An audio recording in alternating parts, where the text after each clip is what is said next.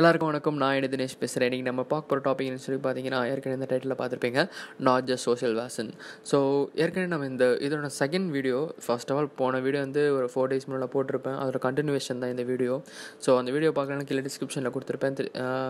முடிஞ்சால் பாருங்கள் ஸோ அதை கண்டினியூஷனாக தான் இருக்கும். அதில் ஒரு முக்கியமான பாட் நான் பேசியிருக்கவே மாட்டேன். ஸோ அதுக்கு வந்து தனியாக ஒரு வீடியோ கொடுக்கலாம். ஏன்னா அது பெரிய கண்டென்ட்டாக இருந்துச்சு. ஸோ அதனால தான் இந்த வீடியோ அது.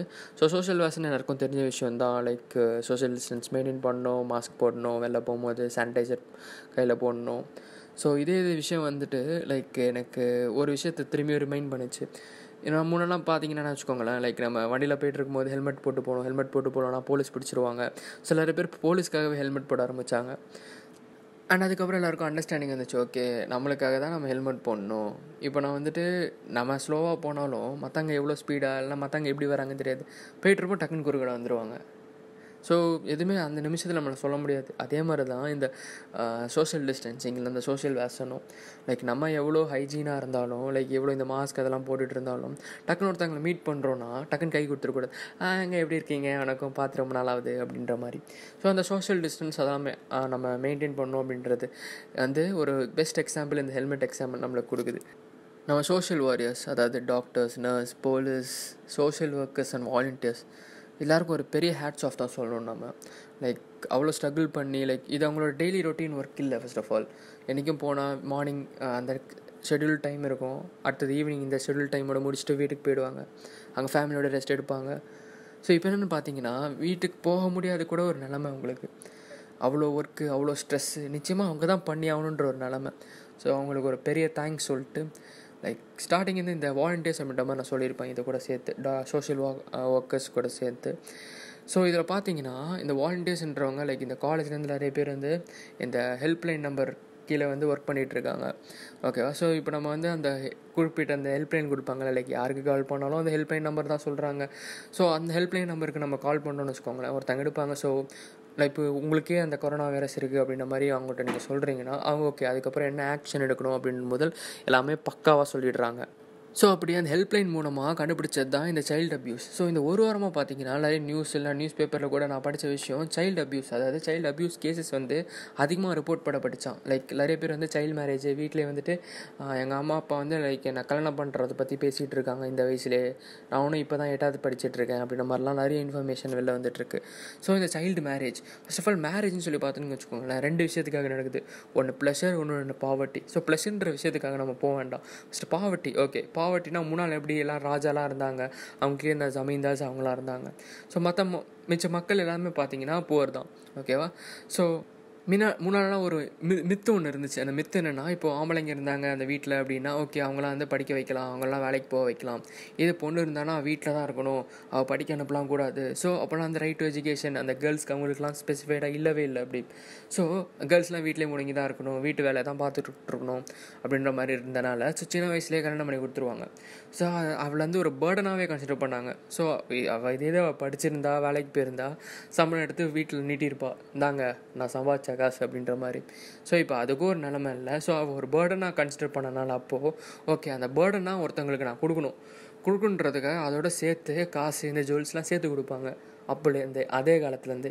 ஸோ அது இப்போ வரைக்கும் கொண்டு போயிட்டு இருக்கு. அது பேர் தான் டவுரி ஸோ இந்த சைல்டு மேரேஜ் டவுரி ரெண்டுமே சரி இப்போ வரைக்கும் கொண்டு போயிட்டு இருக்குன்றது ஒரு ரொம்பவே ஆச்சரியமான விஷயமா தான் இருக்குது அடுத்தது வந்து டாக்டர்ஸ் லெவல் லைக் இந்தியாவில் பார்த்தீங்கன்னா பாப்புலேஷன் ரொம்பவே அதிகம். அதுலேயும் டாக்டர்ஸோட இன்ஜினியர்ஸ் ரொம்ப அதிகம். டாக்டர்ஸ் ரொம்பவே கம்மி. ஸோ இது ஸ்பெசிஃபைட் அமௌண்ட் ஆஃப் பீப்புளுக்கு வந்து டாக்டர்ன்றது ரொம்பவே கம்மியாக இருக்காங்க. ஸோ இப்போது வைரஸுன்றது இந்த கொரோனா வைரஸ்ன்றது நிறைய பேர் ஸ்ப்ரெட் ஆகிடுச்சுன்னா ட்ரீட்மெண்ட் கொடுக்குற டாக்டர்ஸ் ரொம்பவே கம்மியாக இருப்பாங்க. அவங்களுக்கும் இந்த கொரோனா வைரஸ் ஸ்ப்ரெட் ஆகிடுச்சுன்னா அப்போது ஸோ அதே மாதிரி ஒரு ஆர்டிக்கிள் தான் நான் போன வாரம் நிறைய பேர் படிச்சிருப்பீங்க. சைமன் ஹெர்குலிஸ் அப்படின்ற மாதிரி ஒரு டாக்டர் சைமன் ஹெர்குலிஸ் ஒரு டாக்டர் வந்துட்டு பூந்தமல்லியில் ஒரு ஹாஸ்பிட்டல் ஒர்க் பண்ணிகிட்டு இருந்தார் அங்கே வந்துட்டு லைக் கொரோனா வைரஸ் பேஷண்ட்ஸ்லாம் அவரும் ட்ரீட் பண்ணிட்டு இருந்தார் அது மூலமாக அவருக்கு வந்து ஸ்ப்ரெட் ஆயிருக்கு. ஸோ அது வந்து லைக் போன வாரம் அவர் இறந்துருக்காரு. ஓகேவா ஸோ அவர் இறந்த உடனே லைக் அதை புதைக்க போகிறதுக்காக ஒரு இடத்துக்கு கீழ்பாக்கு போயிருக்காங்க. அது சிமெட்ரி இடம் தான். ஓகேவா ப்ளே கிரவுண்ட் இல்லை. ஓகேவா பூரியல் கிரவுண்டு தான். அங்கே போயிட்டு வந்து புதைக்கிறதுக்காக போயிருக்காங்க. அங்கே இருக்கிற மக்கள்லாம் வந்துட்டு லைக் இங்கெல்லாம் புதைக்கக்கூடாது. எங்களுக்கெல்லாம் வைரஸ் வந்துடும் அப்படின்னு. இந்த நியூஸ் படித்தோன்னே எனக்கு ஒன்றே ஒன்று தான் தோணுச்சு. ஹேட்ஸ் ஆஃப் பீப்புள் வந்துட்டு கடைசியாக ஒரு இடத்துல வந்து புதைச்சிட்டு போலீஸ் ஹெல்ப்போட அதுக்கப்புறம் திரும்பியும் அந்த அடி வாங்கினாங்களா டாக்டர்ஸ் அவங்கள திரும்பியும் அதே ஹாஸ்பிட்டல் போய் கூப்பிட்டு போயிட்டு அடி வாங்கின அந்த இடத்துலலாம் கொஞ்சம் ட்ரீட்மெண்ட் கொடுத்துருக்காங்க. இதெல்லாம் கேட்டோடனே அப்பா இன்னும் இதே மாதிரி ஜனங்கள்லாம் இருக்காங்களா? அப்படின்ற மாதிரி தோணுது. இதை அவங்க கொஞ்சம் யோசிச்சிருந்தா அவங்க ஏற்கனவே வந்து அவங்க இன்ஃபெக்ட் ஆன பர்சன்னே இறந்துட்டாங்க. நல்லா பேக் பண்ணியிருக்காங்க. மம்மி படத்தில் வர மாதிரி. பேக் பண்ணிட்டோம். அதுவும் புயல் கிரவுண்டில் தான் போயிட்டு புதைக்க போகிறாங்க அப்பயும் அதுக்கு அலோவ் பண்ணல. ஏன்னா அவங்க மூலமாக ஸ்ப்ரெட் ஆகிடுமா வைரஸ்ஸு ஒரு இறந்தவங்கள்ட்ட இருந்து எப்படா ஸ்ப்ரெட் ஆகும் வைரஸ்ஸு அவங்கள எப்படியும் புதைக்க தான் போகிறாங்க ஏ நாட் கோயிங் டு டச் அப்படி இருந்தும் அதை அலோவ் பண்ணல அவங்க. ஸோ இதெல்லாம் பார்த்துட்டு like okay nice one which is totally disappointing தயவுசெய்து இனிமேல் நீங்களும் இதெல்லாம் கேட்டுட்டு உங்கள் ரீஜன்லேயே இப்படி எதுவும் பண்ணிடாதீங்க தயவுசெய்து. கொஞ்சம் யோசிங்க இந்த மாதிரி விஷயங்களில். இப்போ நம்ம வர காலத்துலலாம் பார்த்தீங்கன்னு வச்சுக்கோங்களேன் லைக் குட் குவாலிட்டி டாக்டர்ஸ் வருவாங்க அப்படின்ற மாதிரி எதிர்பார்க்கப்படுது. ஏன்னா லைக் நீட் சிஸ்டம் அப்படின்னு ஒரு அஞ்சாறு வருஷத்துக்கு முன்னாடி இன்ட்ரடியூஸ் பண்ணாங்க. இன்ட்ரடியூஸ் பண்ணிட்டு ஓகே இந்த நீட் எக்ஸாம் சொல்லி எழுதணும். அதில் ஃபஸ்ட்டு பாஸ் ஆகணும். பாஸ் ஆனால் தான் மெடிசினே படிக்க முடியும். ஓகே அதை படிச்சுட்டு விளையாடுற டாக்டர்ஸ் நிச்சயமாக ஒரு குவாலிஃபைட் டாக்டர்ஸாக தான் இருப்பாங்க. ஓகே அப்போ வந்து போலி டாக்டர்ஸ் வந்து யாருமே இருக்க மாட்டாங்க. லைக் எம்பிபிஎஸ்சியே படிக்காமல் வெறும் சர்டிஃபிகேட் மட்டும் வாங்கி வச்சுருப்பாங்க பாருங்கள் அவங்க வந்து அப்போ டாக்டர் அதே மாதிரி டாக்டர்ஸ்லாம் இனிமேல் வர மாட்டாங்களா அப்படின்னு கேட்டால் ஐம் so சாரி நான் வெறும் அஃபிஷியல் டேட்டா மட்டும் தான் சொல்கிறேன் அன்அஃபிஷியல் டேட்டா சொல்லலை. ஸோ அதுக்கப்புறம் முக்கியமாக நம்ம இந்த கொரோனா வைரஸ் பீரியடில் நம்ம படித்த விஷயங்களில் பிபி கிட் அது மாதிரிலாம் பற்றி பேசி நிறைய இடத்துல பார்த்துருப்போம். நியூஸில் பார்த்துருப்போம். நியூஸ் பேப்பரில் படிச்சிருப்போம். ஸோ அதெல்லாம் வந்து இப்போ அதுக்கு பின் நான் இப்போ நீங்கள் பார்க்குற இந்த பிக்சருக்கு பின்னாடி அந்த பிபி கிட் மொதமாக போட்டிருப்பேன். ஸோ இதெல்லாம் பார்த்தீங்கன்னா லைக் பாசிட்டிவ் பேஷண்ட்ஸை வந்து ட்ரீட் பண்ணுற டாக்டர்ஸ் வந்துட்டு நல்லா இந்த ஃபெசிலிட்டிஸ் இருக்குது ஓகேவா லைக் இந்த கோ இந்த கோட் அதெல்லாம் கிளாஸ்லாம் போட்டு க்ளவுஸ்லாம் போட்டு லைக் ட்ரீட் பண்ணுறாங்க அவங்களுக்குலாம் அந்த ஃபெசிலிட்டி இருக்குது ஆனால் இதே இது இன்டர்மீடியட்ரி அதாவது ஒரு சஸ்பெக்ட் கேசஸ் இவங்களுக்கு வந்து கொரோனா வைரஸ் இருக்குது லைக் இருக்கலாம். ஸோ அதனால் நாங்கள் கூட்டு வந்திருக்கோம். ஹாஸ்பிட்டலுக்கு அப்படின்னு சொல்லி கூட்டு வந்திருப்பாங்க. ஸோ அவங்கள செக் பண்ணுற அந்த டாக்டர்ஸ்கிட்ட வந்து பிபி கிட் வந்து அவ்வளோவா அவைலபிளாக இல்லை. மாஸ்க் கூட லைக் சில பேர் வந்து நீங்கள் யூஸ் பண்ண மாஸ்க்கே வந்து யூஸ் பண்ணிகிட்ருங்க லைக் ஸ்டாக் அவ்வளோவா இல்லை அப்படின்ற மாதிரி இன்ஃபர்மேஷன்லாம் வெளில வருது. ஸோ இதே மாதிரி விஷயம்லாம் லைக் நான் நியூஸோ இல்லை நியூஸ் பேப்பர்லையோ நான் படிக்கல நான். இது மாதிரி விஷயம் வந்து நான் பர்சனலாகவே எனக்கு தெரிஞ்ச ஒரு டாக்டர் ஒருத்தவங்களில் கேட்டு நான் தெரிஞ்சுக்கிட்டேன். கவர்மெண்ட் வந்து ஒரு மந்த் பேக் வந்து பிரைம் மினிஸ்டர் கரீப் கல்யாண் யோஜனா அப்படின்ற மாதிரி ஒரு ஸ்கீம் கொண்டு வந்தாங்க. அந்த ஸ்கீம் மூலமாக லைக் இந்த ஷோ இந்த கொரோனா சோஷியல் வாரியர்ஸ்க்கு வந்துட்டு லைக் இதே மாதிரி இன்சூரன்ஸ் ஸ்கீம்லாம் நாங்கள் கொண்டு வரோம் அப்படின்ற மாதிரிலாம் சொன்னாங்க. லைக் அதில் அவ்வளோ ஸ்ட்ரெச் பண்ணாமல் லைக் இதே மாதிரி ஃபஸ்ட்டு கிட்ஸ்லாம் ஃபஸ்ட்டு இருக்கா? ட்ரீட் பண்ணுற டாக்டர்ஸ் ஃபஸ்ட்டு சேஃபாக இருக்காங்களா அப்படின்னு சொல்லி கவர்மெண்ட் பார்த்தா ரொம்பவே நல்லாயிருக்கும் அதுக்கப்புறம் டேட்டா இப்போ வந்து நான் ஒரு கூகுளில் எடுத்து நான் அந்த ஸ்க்ரீன்ஷாட் எடுத்து போட்டிருப்பேன். இது நான் டுவெண்ட்டி ஃபிஃப்த் நைட்டு எடுத்த ஒரு ஸ்க்ரீன்ஷாட்டு இது ஃபஸ்ட் ஆஃப் ஆல் இருக்கிற டேட்டா வந்து டுவெண்ட்டி ஃபோர்த் ஏப்ரலில் இருக்கிற டேட்டாவாக இருக்கும். ஸோ ஏன்னா இது அடுத்த நாள் தான் இது அப்டேட் பண்ணியிருப்பாங்க. ஸோ அதனால் இது டுவெண்ட்டி ஃபோர்த்தோட டேட்டாவாக இருக்கும். ஸோ இதை பார்த்தீங்கன்னா லைக் மூணு மூணு டேட்டா இருக்குது மூணு காலம் இருக்கும் உங்களுக்கு.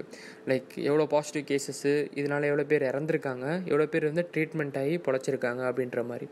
ஸோ இது வந்து இதுதான் அஃபிஷியல் டேட்டாவா நிஜமாக இவ்வளோ பேர் தான் இறந்துருக்காங்களா? நிஜமாக இவ்வளோ பேருக்கு தான் பாசிட்டிவ் இருக்கா அப்படின்னு கேட்டால் ஐயோ அப்படிலாம் இல்லையா அப்போது அப்படின்ற மாதிரி யோசிக்கிற மாதிரி சுச்சுவேஷன் இருக்குது ஏன்னா லைக் சைனா கூட ஒரு பெஸ்ட் எக்ஸாம்பிள் எடுத்துக்கோங்களேன். இதுக்கு முன்னாடிலாம் ஒரு த்ரீ வீக் இது ஒரு த்ரீ வீக்ஸ் பிஃபோர்லாம் நிறைய ஆடியோலாம் நம்ம கேட்டிருப்போம் நிறைய வீடியோலாம் கேட்டிருப்போம் நம்ம. லைக் இதே மாதிரி வந்து சைனாவில் வந்து நிறைய பேர் இறந்துட்டாங்க. ஆனால் கம்மியான டேட்டாவாக காட்டியிருக்காங்க. அப்படின்ற மாதிரி. ஓகே இப்போ இந்தியாவில் வந்து அப்போது ஓகே இதுதான் டேட்டாவான்னு கேட்டால் இல்லை. நிஜமாக நிறைய பேர் இறந்துருக்கலாம். நிறைய பேர் இறக்காமல் கூட இருந்திருக்கலாம். இதே கூட ஒரிஜினல் டேட்டாவாக இருக்கலாம். ஆனால் ஏன் வந்து ஒரிஜினல் டேட்டா லைக் நிஜமாக இவ்வளோ பேர் இறந்துருக்காங்கன்ற டேட்டா ஏன் வர மாட்டுக்கு லைக் உங்கள் வீட்டு பக்கத்துலேயே ஒருத்தர் கொரோனா பாசிட்டிவ் வந்திருக்கும். ஆனால் அவரோட நேம் லிஸ்ட்டை வந்து லைக் அவரோட நம்பர் வந்து அந்த டேட்டாவில் ஆட் ஆகிருக்காது உங்கள் ஊரில் கேள்விப்பட்டிருப்பீங்க ஒருத்தங்க இறந்துருப்பாங்க அப்படின்ற மாதிரி கொரோனா வைரஸ் வந்து. ஆனால் அந்த டேட்டா அந்த ஊர் லிஸ்ட்டில் ஆட் ஆயிருக்காது. ஸோ ஏன் இதே மாதிரி வந்து கொரோனா கேசஸ் வந்து லைக் கம்மியாக காட்டுறாங்க ஒரு ஒரு கண்ட்ரியும் அப்படின்னு கேட்டால் லைக் பீப்புள் வந்து பேனிக் ஆகக்கூடாது இதே மாதிரி சுச்சுவேஷனில் இது வந்து கவர்மெண்ட்டோ இல்லை இல்லை எந்த ஒரு கண்ட்ரியும் எதுவுமே சொல்லலை இதே மாதிரி. நானே சொல்கிறேன் இந்த டேட்டா இப்படி கம்மியாக காட்டுறதுக்கு காரணம் என்னென்னா லைக் பீப்புள் வந்து யாரும் பேனிக் ஆகக்கூடாது அப்படின்ற மாதிரி. இப்போ இதே இது வந்துட்டு நான் என்ன சொல்கிறேன்னா இப்போது கொரோனா கேசஸ் ஆளாக இன்ஃபெக்ட் ஆகி ஒருத்தங்க தான் இறந்துருக்காங்க அப்படின்னா எல்லாருமே வந்து ரொம்ப நார்மலாக நடமாட்டிகிட்டு இருப்பாங்க. எல்லோரும் ரெஸ்டாரண்ட் போயிட்டு எல்லாம் ஃப்ரெண்ட்ஸ் எல்லாம் மீட் பண்ணி முன்னால் எப்படி இருந்துச்சோ அப்படியே தான் இருந்திருக்கும். ஆனால் கொரோனா கேசஸ் வந்து நிறைய பேருக்கு பாசிட்டிவ் வந்து நிறைய பேர் இறந்தனால தான் இப்போ பீப்புளெலாம் ஓகே லைட்டாக பேனிக் ஆகிறாங்க. ஓகே நம்ம இப்படிலாம் வெளில போகக்கூடாதுப்பா வீட்டிலே இருக்கணும் அப்படின்ற மாதிரி. ஆனால் இப்போ இதே இது ஒரிஜினல் டேட்டா இவ்வளோ பேர் இறந்துருக்காங்கன்னு கேட்டால் பீப்புள் மனசில் நிச்சயமாக அதிகமான பேனிக் உண்டாகும் நிறைய பேர் வந்து போகணும்னு நினைக்கிறவங்க கூட போக மாட்டாங்க. எப்போ வீட்டில் இருக்கலாம் வீட்டில் இருக்கிறத வச்சு சமைச்சு சாப்பிட்றலாம் அப்படின்ற மாதிரி. அடுத்தது முக்கியமாக சொல்ல வேண்டியது என்னென்னு சொல்லி பார்த்தீங்கன்னா இந்த four days of lockdown in Chennai Madurai in Coimbatore and three days of lockdown in Salem and Tiruppur. Like இது ஒரு நல்ல டிசிஷன்னா லைக் ஏற்கனவே லாக்டவுனில் தான் இருக்கும். இப்போ என்ன வேறு சிவியர் லாக்டவுன் அப்படின்ற மாதிரி. இந்த சிவியர் லாக்டவுனோட இம்பேக்ட் என்ன ஆயிடுச்சு அப்படின்ற மாதிரி பார்த்தீங்கன்னா ஓகே நாலு நாளைக்கு வந்துட்டு நம்ம வெளில எங்கேயும் போகக்கூடாது. எல்லாரும் சில இதுதான் சில இதெல்லாம் ரிலாக்ஸ் பண்ணி வச்சுருக்காங்க. ஓகே இதெல்லாம் அலௌடு அப்படின்ற மாதிரி. ஆனால் லைக் சில இதெல்லாம் வந்து ஓகே மார்க்கெட்லாம் போய் வாங்க முடியாது. ஓகே நம்மளுக்கு நாலு நாள் நம்மளுக்கு சாப்பாடு இருக்காது. அதனால் நம்ம இப்போயே போய் வாங்கணும்னு சொல்லிட்டு ஜஸ்ட் இப்போ பாருங்களேன் நான் நீங்கள் பின்னாடி இந்த பார்க்குற இமேஜஸ் எல்லாம் வந்து கோயம்பேட்டில் டுவெண்ட்டி ஃபிஃப்த் ஏப்ரல் அன்றைக்கி எடுத்த ஃபோட்டோஸ் இதெல்லாம் வந்து நெட்டில் நான் வந்து அன்றைக்கே உள்ள ஷோஸ் வந்து ஒரு ஒரு இந்த நியூஸ் சேனல்லேருந்து எடுத்த இந்த ஃபோட்டோஸ் இது நான் காமிக்கிறது உங்களுக்கு. ஸோ ரொம்ப ஒரு பேத்தட்டிக் சுச்சுவேஷன் தான். நீங்கள் நாலு நாளில் வரக்கூடாத வைரஸ் வந்து ஒரே நாளில் எல்லாருக்கும் வர வச்சிட்டிங்க.